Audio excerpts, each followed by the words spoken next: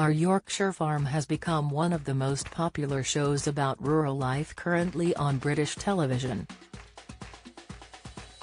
The Channel 5 show, which has proved a hit with five series so far, follows the lives of Amanda Owen and her large family as they live and work on one of the most remote farms in England. Where is our Yorkshire farm? Amanda and her family have lived at Ravenseat Farm, a working hill farm located in Whitsundale at the top of Swaledale, for several years the nearest village is Keld in North Yorkshire, and the nearest town is Kirkby Stephen in Cumbria. It's found at the halfway point of the famous 182-mile coast-to-coast walk that cuts through Yorkshire. Are Yorkshire Farm fans devastated as Amanda Owen show goes off air are the family leaving Ravenseat?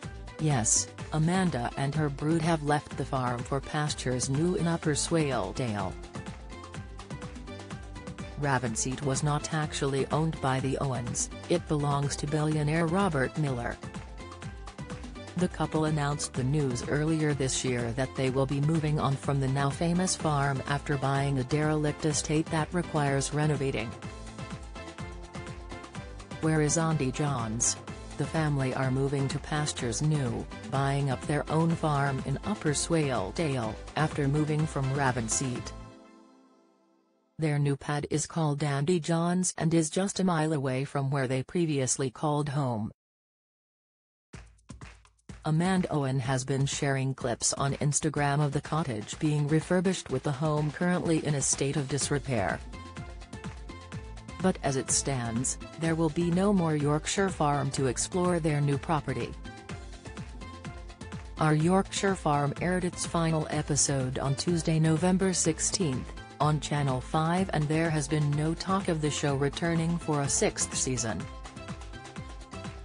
Amanda Owen admits she has no clue what the future holds, report wasn't the woman in married Rod Stewart on Penny's menopause battle, incited appreciate not being interrupted.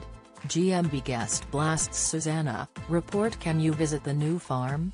As it currently stands, you cannot visit the new farm, but you can still visit Ravenseat next year.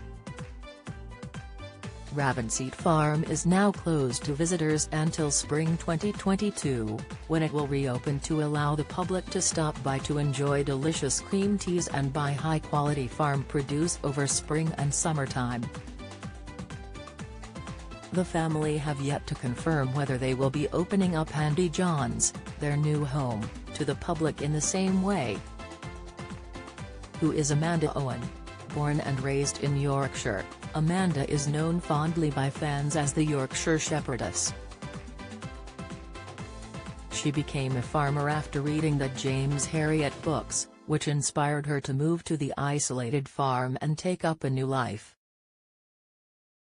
She has nine children with her husband Clive Owen, Raven, 20, Reuben, 17, Miles, 15, Edith, 12, Violet, 10, Sidney, 9, Annas, 7, Clemmie, 5 and Nancy, 4.